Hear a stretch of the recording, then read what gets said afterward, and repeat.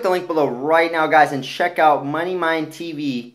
Today's episode coming to you is called Stuck. So you feel stuck in life, feel stuck in business, ready to get to the next level? Click the link below, guys. It's called Stuck, and it's coming to you shortly.